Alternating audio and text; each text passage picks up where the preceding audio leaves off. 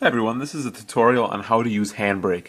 Now what Handbrake is, is a fairly simple DVD ripping tool as well as a video converter.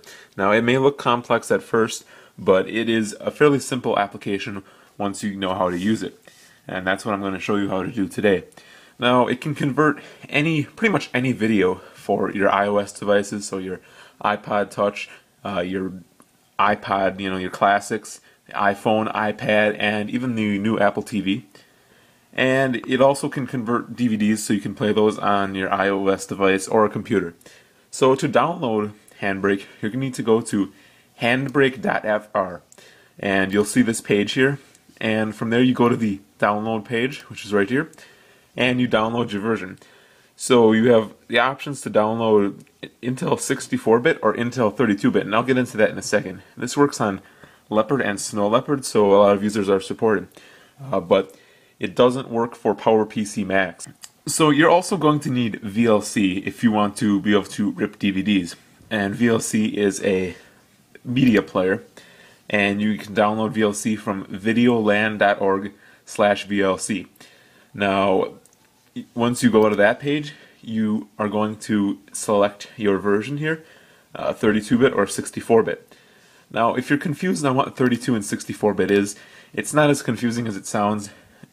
If you don't know which version to install, you can find some documentation on the Handbrake website that will help you with that. It's not that confusing once you look at it. Uh, the 64-bit version does run about 10% faster, uh, and that's the benefit of it. But if you're not sure, it's safest just to go with the 32-bit version as it should work on everything. So you're going to need to install VLC and you're going to need to make sure that's in your applications folder.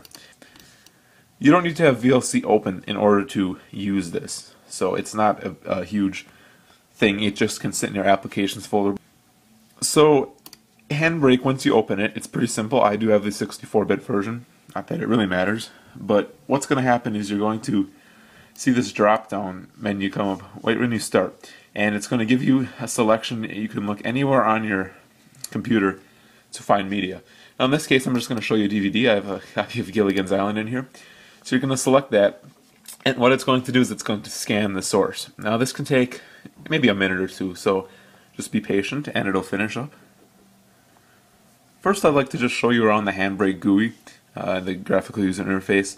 On the right hand side here you have this little presets pane that comes up and it gives you all the different presets for different devices so iPods, iPhones, the iPhone 4 which would be retina display optimized I'm guessing, iPad and then your Apple TV. Uh, you don't really have to worry about this if you just want to convert a normal file. The normal setting should do it good enough. So up here you see the chapters and you can select what chapters you want to encode and this tells you where it's going to put the file and it just normally puts it right to your desktop. You can select other locations. Now you can convert this to an MP4 or MKV file. It's safest to stay with MP4 if you want playback on your iOS devices. You can also choose between web optimized, iPod 5G support, and large file size. You can choose between two different video codecs, and if you don't know really which one to choose, you can just leave it on H264. It doesn't really matter. I find that encoding it with MPEG-4 works a little bit faster, but it's not something you really need to work, worry about. And you can also choose your frame rates, you can leave that alone too. There's a quality slider here, and if you want the highest quality video, I would suggest putting it all the way up. You can also choose your bitrate and target size megabytes. Uh, those aren't really something you really need to play with either. And down here it just tells you what your picture size source is and the output and resolution. So it's 720 by 480 and output is 720 by 480. And up here you can add things to your queue to encode while you're encoding other things. And this just shows you what's in the queue and there's nothing in there right now. So before I start this, I just want to warn you about copyrights. Um, there are copyrights on a lot of DVDs copy protection.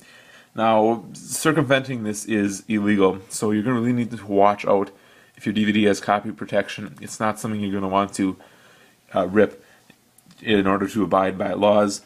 And also, it is legal to make a personal copy of a DVD for your own home use, but going around the copy protection is not legal, so this is something you want to handle with caution.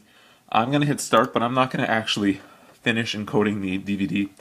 I'm only going to show you what happens when you start it because I really want to abide by copyright laws. So it says encoding here, and it does it in one pass. You can choose two pass right here, and it tells you how long it's going to take. Now that says this is going to take 3 hours and 22 minutes to complete. And it's actually going down quite fast, but so this is going to take a while. It's not even, you know, 0.15% through it.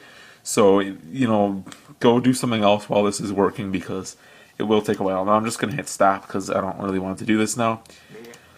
Um, but I will show you uh, converted a different video that I have, the, actually the first part of this video, so you can see what actually happens. So I'll show you that now. So right here I have the first part of the video that you just watched, and I am going to show you how to convert that now. Hi everyone, this is a tutorial on how to use Handbrake. Now what Handbrake is, so you can kind of see the uh, video there, and it's, you know, a fairly good quality. And I have the source already selected and that is the movie on the desktop. Now I'm going to leave pretty much everything alone. All I'm going to do is slide the quality slider all the way up. Now I forgot to mention these tabs right here, these audio, subtitles, advanced, and chapters tabs. Now these are tabs that unless you're a pro user you really don't have to worry about. They're nothing too complex, or they're pretty complex so you probably don't want to use them unless you really feel like you need to. Uh, they're somewhat confusing and you generally won't need to use them. So I'm just going to hit start. And this is about a six minute video. So it's going to uh, encode it right now. And this is going to take about 23 minutes, it's saying. So I will come back when it's done and I'll show you the quality. So I finished encoding the file and it exports in a .m4v file format instead of the .mov it was in. Now I'm just going to compare the quality to show you that this does do a very good job. So here's the original. Hey everyone, this is a tutorial on how to use Handbrake. Now what Handbrake is, is a fairly simple And here is the new one. Hey everyone, this is a tutorial on how to use Handbrake. Now what Handbrake is, so it is pretty much virtually impossible to tell the difference. Uh, the one that I just encoded is a little bit of a smaller file size, and that has something to do with the settings I used, but and the formatted exported in. But this is an easy and handy way to convert any files you want uh, into a playable format for your iPod or iPhone, even the Apple TV. And it also is a very easy way to rip DVDs if you want to do that. So that's about all for this. I hope you found this tutorial useful, and uh, thank you for watching.